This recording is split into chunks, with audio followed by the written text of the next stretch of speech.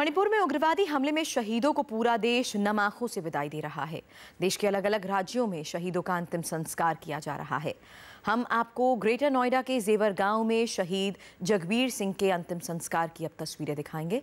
UP सरकार ने भी शहीद के परिवार को 20 लाख रुपए का मुआवजा देने का ऐलान किया है।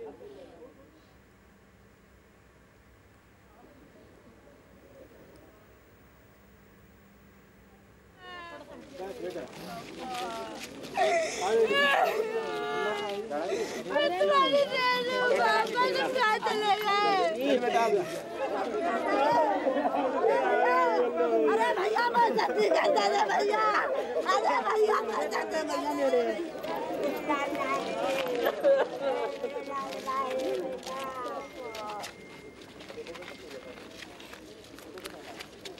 मणिपुर के शहीदों को दी जा रही अंतिम विदाई और आपको बता दें, पार्थिव शरीर फ़िलहाल लोगों के दर्शन के लिए यहाँ पर रखा गया। इस बीच परिवार वालों का रो रो कर बुरा हाल है। बेटी, जहाँ एक तरफ़ अपनी माँ को संभालने की कोशिश करती नज़र आ रही है, वहीं वो खुद पिता को अपने बीच ना पाकर दुखी है।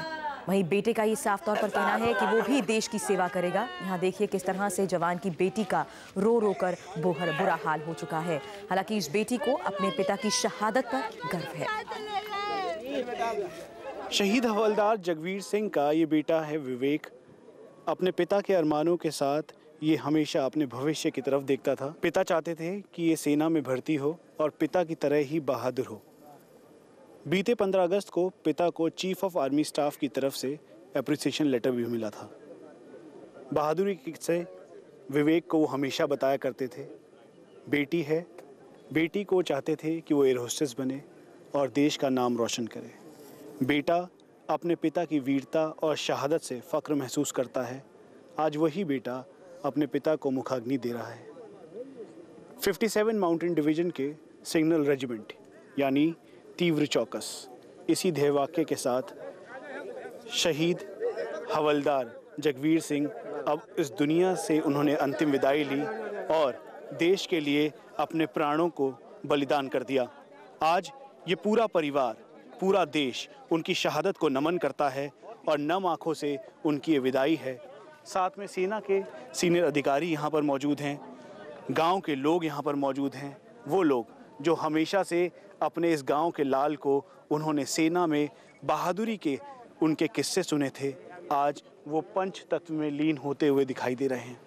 पूरा देश बहादुर शहीद हवलदार जगवीर सिंह को सलाम करता है। कैमरा पर्सन मुकेश सिन्हा के साथ मनीष प्रसाद, इंडिया टीवी राबोपुरा शहीद जगबीर सिंह के परिवार का रो रो कर बुरा हाल है। खासकर छोटे बच्चे तो समझ भी नहीं पा रहे कि बिना पिता के उनका भविष्य क्या होगा? क्या पापा क्या चाहते थे? क्या बनो आप? उनकी बहादुरी पे क्या मैं एयर होस्टेस बनना चाहती थी। पापा कहते थे एयर होस्टेस बनिए बड़े होके। बहादुरी के किस्से सुनाए करते थे बहुत बहादुर थे आपके पापा। क्या कहते थे पापा कहते थे मुझे इतने मेडल मिले तुझे भी मिले करेंगे बेटा तू बड़ी होके एयर होस्टेस बनियो तुझे भी ट्रॉफी मिले करेंगी। मेरी तरह करे करियो तू भी बड़े बड़े काम। प्रधानमंत्री को क्या कहेंगे कि मेरे पापा को जिन्होंने मारा उनको मारो। मेरे पापा। सेना में हर सैनिक का ये सपना होता है कि देश के लिए वो मर मिटे। देश के जितने भी दुश्मन हैं, उनका खात्मा कर सके। हवलदार जगवीर सिंह, उनमें से ही एक है। उनका बेटा विवेक हमारे साथ है। बेटा, पापा क्या कहते थे? क्या बनना है आगे बड़े होके? पापा कहते थे कि अपने देश की सेवा करना बड़े होके, और मैं इसी तरह अपने देश की सेवा करना चाहता हूँ। पापा की तरह ही आर्मी में ज्वाइन करना चाहता हूँ।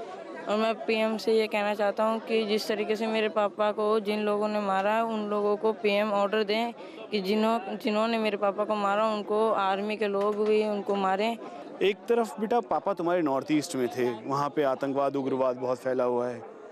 बहादुरी के किस्से सुनाते थे कभी मेडल बहुत सारे हैं पापा के क्या क्या कहते थे आपको पापा को chief of the army star का मेडल मिला था पंद्रह अगस्त को। और एक दूसरा भी मेडल मिला था एसओआई का ऐसा था उसका नाम मुझे अभी अच्छे से पता नहीं है। वो मेडल मिला था वो पंद्रह अगस्त से एक साल पहले मिला था। ये ये दो मेडल मिले थे और भी कई मेडल मिले हुए थे उन गर्व होता है पापा पे? हाँ पापा पे मुझे बहुत गर्व है।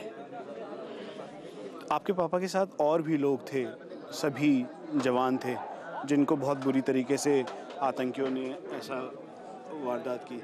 क्या कहना चाहेंगे प्राइम मिनिस्टर से? मैं प्राइम मिनिस्टर से यही कहना चाहता हूँ कि जिन लोगों को जो घायल हुए हैं और जिनकी जो शहीद हो गए हैं उनके घर वालों को ज़मीन मुहैया और पैसे का किया जाए जिससे उनके पूरे परिवार जो जो भी लोग हैं उनके बच्चे छोटे बच्चे हैं उनको जीवन यापन कर सकें वो आराम से।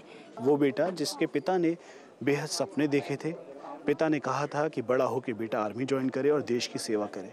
आज वो पिता नहीं है। परिवार उस पिता को की कमी हमेशा महसूस करता रहेगा। पूरा देश शहीद हवलदार जगवीर सिंह की कमी महसूस करेगा। कैमरा पर्सन मुकेश सिन्हा के साथ मनीष प्रसाद, इंडिया टीवी, राबोपुर। उसकी सतपूर्ति तो नहीं हो सकती, लेकिन उसके परिवार के, मेरी बहन के लिए, मेरे भांजे, भांजी हैं, आठ साल, दस साल के बच्चे हैं। उनके जीवन यापन के लिए ऐसा कुछ हो जिससे कि और जो आ- किसानों के बेटे आर्मी में जा रहे हैं या किसान परिवार हैं, उनको ये गर्व महसूस हो कि हाँ भी हम अपने बच्चों को आर्मी में कराएँ। यदि ऐसा उपेक्षा होती रही और बच्चे अनाथ होकर इस तरह बिलखते रहे या आम ज़िंदगी जीते रहे तो मेरे ख्याल से आर्मी में लोग जाना ही मन खत्म कर देंगे, आर्मी में जाना ही बंद कर देंगे लोग बाग। कैसे होगा देश का वो? देश में इससे बड़ा और कुर्बानी कौन देगा, क्या देगा? नोएडा के सांसद और केंद्रीय पर्यटन मंत्री महेश शर्मा ने कहा कि शहीद जगवीर की शहादत बेकार नहीं जाने दी जाएगी। बहुत गरीब परिवार है और इसके पास मात्र एक बीघा ज़मीन है, दो बच्चे हैं, दस साल और बारह साल के, और मकान भी रहने का ना के बराबर सा ही। तो गाँव के लोगों की मांग है कि जो क्षतिपूर्ति, जो अनुदान सरकार की तरफ़ से मिलना है, वह है कर, लेकिन गाँव के लोग प्रस्ताव देने के लिए कि पंद्रह बीघा ज़मीन, एलएमसी की ज़मीन होती है, जिसको पट्टे पर सामान्यतः ऐसे कामों के लिए दिया जाता है एसडीएम अभी जिलाधिकारी से बात कर रहे हैं। हमने भी उनसे कहा है कि कम से कम इनको कुछ ज़मीन पट्टे पे दी जाए ताकि वो परिवार, क्योंकि अभी कोई परिवार में नौकरी करने लायक नहीं है, ना पत्नी है, ना दोनों बच्चे हैं। बूढ़ी माँ भी है। तो उस ज़मीन के लिए काम के लोगों की मांग है कि इनको ज़मीन एक पट्टे पर दी जाए। मैं भी उससे सहमत हूँ। मणिपुर के चंदेल में शहीद हुए जवानों को देश के अलग अलग हिस्सों में नम आँखों से विदाई दी जा रही है। हमले में शहीद हुए 21 सैनिकों में से छह जम्मू क्षेत्र के थे। आज उनके शव जम्मू पहुँचे। सेना के अधिकारियों ने श्रद्धांजलि दी। इन शहीदों में छह डोगरा रेजिमेंट के जवान नायब सूबेदार थे। जम्मू ज़िले के हवलदार सतपाल भसीन थे। राजौरी से हवलदार सुनील कुमार शर्मा शहीद हुए। अखनूर से 38 साल के हवलदार रणदीप सिंह शहीद हुए। जम्मू के घरोटा से 33 साल के लांस नायक कुलदीप राज भी शहीद हुए हैं। घरोटा से ही 27 साल के विजय कुमार। इन जवानों को आज नम आँखों से विदाई दी गई।